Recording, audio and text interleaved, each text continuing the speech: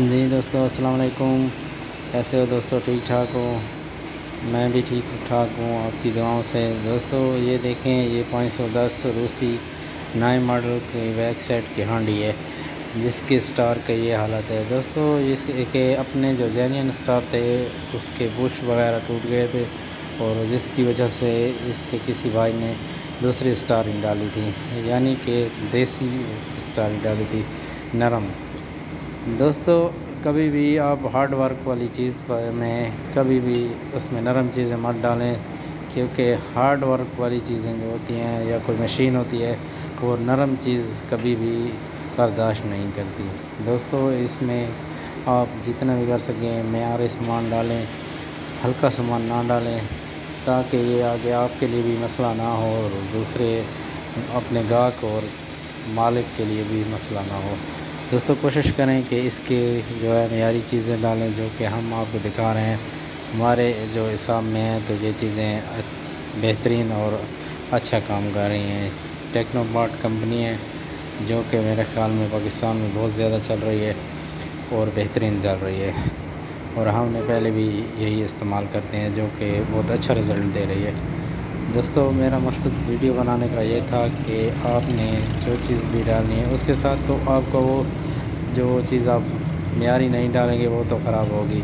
साथ साथ जो आपकी कोई बची चुकी चीज़ भी होगी, वो भी ख़राब हो जाएगी।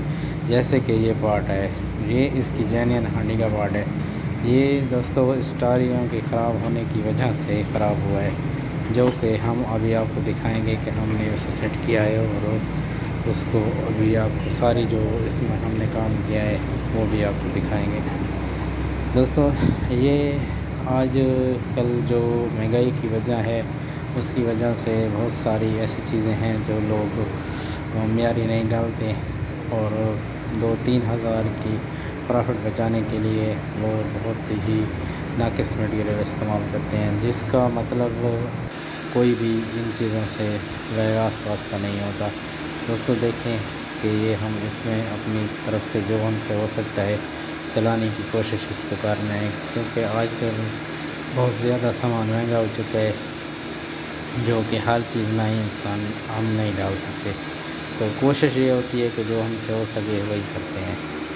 तो ये अभी हम ठीक कर रहे हैं दोस्तों और देख सकते हैं और आप वीडियो देखें और हमारी वीडियो अगर आपको अच्छी लगे तो लाइक और शेयर ज़रूर करें।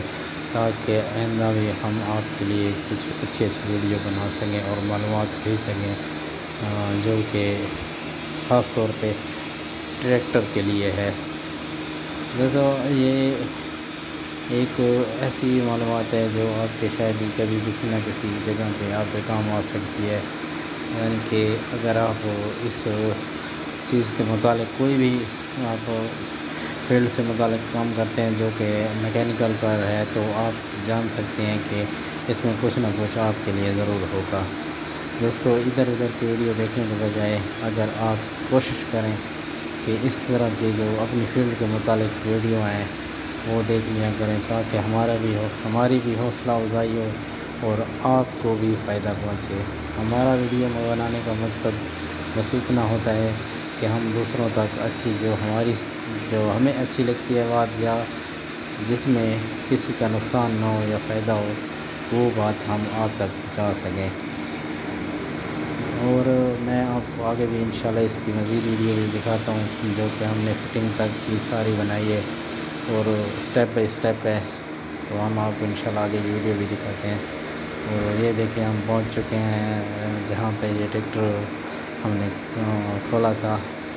ये हमने रास्ते में खोला था, यानी कि ये इस ट्रैक्टर के मालिक जो अपनी जगह है वहाँ पर खोला था।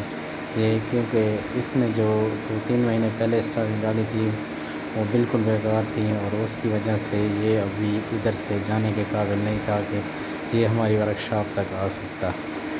तो हमने अभी इन इसका ऐसा काम शुरू कर दिया, जिसके साथ हमने इसका एक जो हमारी ज़बान में तो इसको मणका बोलते हैं पता नहीं आपकी ज़बान में इसको क्या बोलते हैं। यानी कि हमने इसका एक साइड जो गरारी है, बड़ी जो मेन गरारी को चलाने वाली है।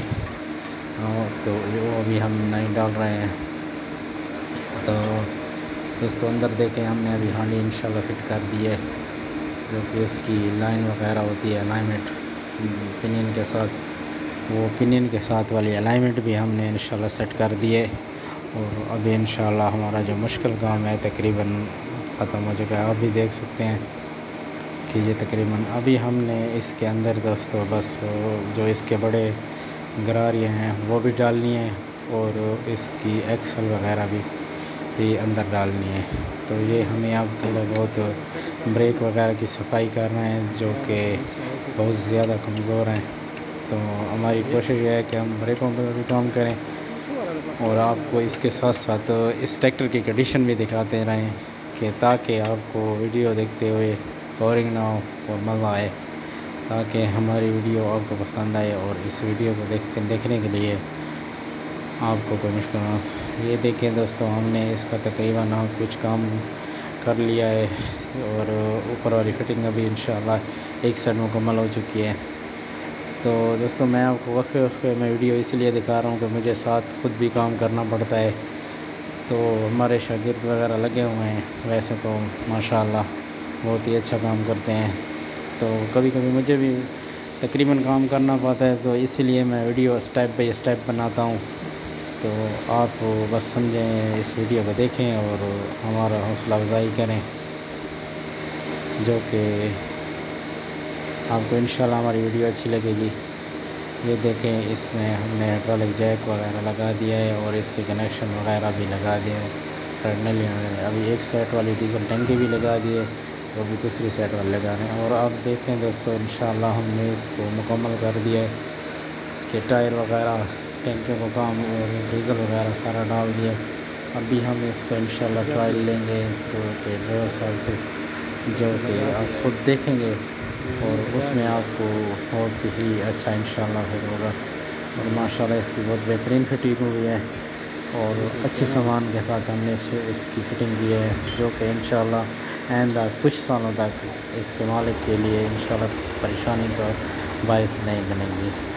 तो जी दोस्तों, ये देखें, ये अभी ड्राइवर साहब इसको चेक कर रहा है कि ये किस तरह भी कर रहा है और इसमें कोई मसला तो नहीं है। तो आप भी देख सकते हैं दोस्तों, हमने इन अपनी तरफ़ से पूरी कोशिश की है कि इसको मसला ना आए।